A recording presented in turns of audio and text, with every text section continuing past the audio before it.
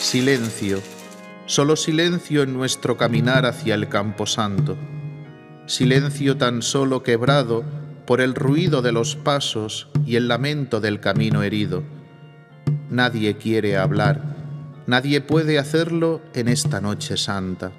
Solo tú, Señor, solo tú, Cristo de la cruz, gustas del silencio para hablarnos, para hacernos sentir tu voz en lo más profundo de nuestro ser, para escudriñar en las almas desnudas de esta caravana humana que formamos, ascendiendo junto a ti en la noche hasta tu morada, donde un año más besaremos tus pies lastimados y elevaremos nuestra plegaria junto al lugar donde yacen nuestros difuntos.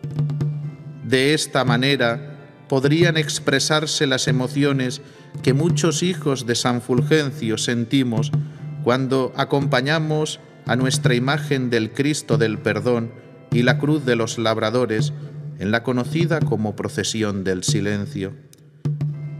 Esta procesión es la más sencilla de cuantas se celebran por Semana Santa en nuestro pueblo.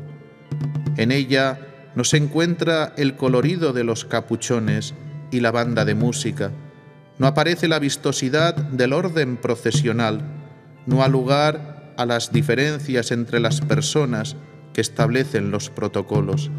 Es una procesión íntima, sencilla, en la que cada uno camina en silencio, acompañando al Santísimo Cristo del Perdón.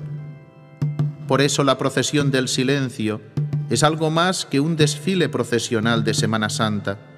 Es el entrañable acto de fe, la expresión sincera y humilde de un pueblo que, fiel a la cita, acude la víspera del Viernes Santo a su encuentro con Cristo crucificado en el arrepentimiento y el dolor, buscando la paz interior.